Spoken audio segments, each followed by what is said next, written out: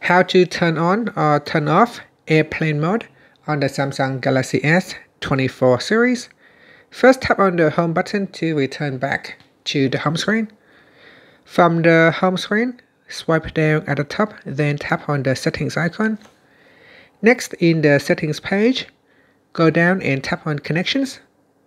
Then tap on airplane mode, tap on the toggle button to turn it on, or tap on the toggle button to switch it off.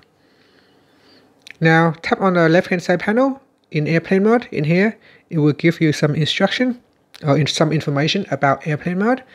So say here turn turns off mobile networks, Wi-Fi and Bluetooth when you turn on airplane mode.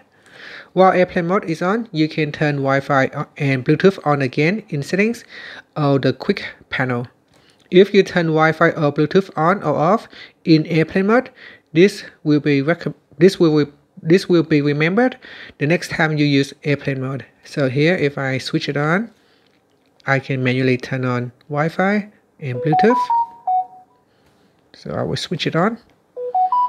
So now it is on. So if I turn off airplane mode and then turn it back on, you can see Wi-Fi and Bluetooth will stay or remains uh, active because it remembers the settings from last time. So here I'm going to uh, switch off Wi-Fi and Bluetooth. And that's it. Thank you for watching this video.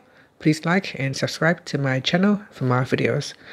Uh, also, you can turn on or turn off airplane mode by swiping down at the top. And in this quick settings panel, you can tap on the airplane mode shortcut button to toggle it on or off. And that's it. Thank you for watching.